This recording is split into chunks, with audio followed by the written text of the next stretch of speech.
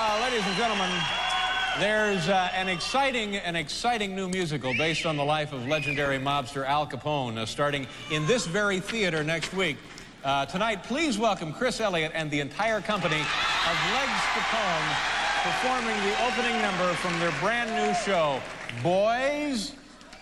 Oh my God. A five, six, seven.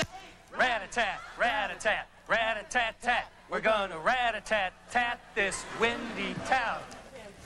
Our stuff with old?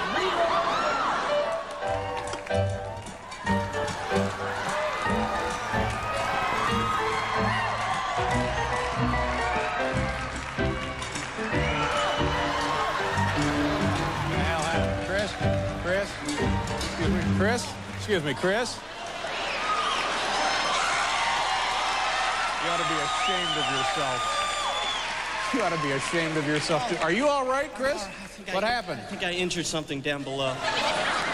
Well, you know, that could be for the best. And, uh, and before we begin here, let me just say that this little dance number here, this little production thing, it literally made me ill. Thank you very much. You're always so supportive. Thank you. I appreciate that. Uh, so, Chris, tell us a little bit about the big musical. How is it going? Well, you know, we've only done a few uh, previews so far. Uh-huh. Yeah, and where, where did you do those? Uh, in a prison auditorium. I see. And, uh, you know, it wasn't really very well received there. Hmm. There, uh, there used to be four of us here. But the fellow who plays Eliot Ness is Uh-huh. actually recuperating at home with his folks. Okay. So, uh, Jimmy, if you're watching, get well soon. We miss Okay, fine. So, uh, Chris, in preparing for this uh, big musical about Al, Al Capone's life, did you do a lot of research? Uh, You know, that's funny. I couldn't find one book written on the guy. Mm-hmm.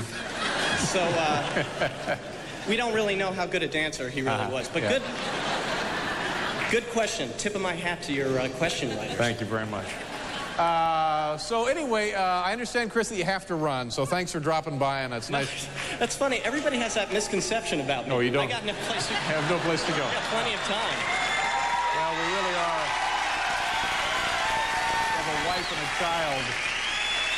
Okay, what, what size shoe? What size About a shoe? ten and a half is well, what that, I wear. You know, that's Jimmy's size. You uh, could fit into his spats. Why don't you mm. come on the road with Legs Capone with us?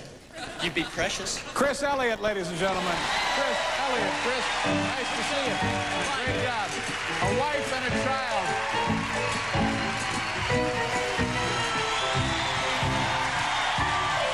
All right.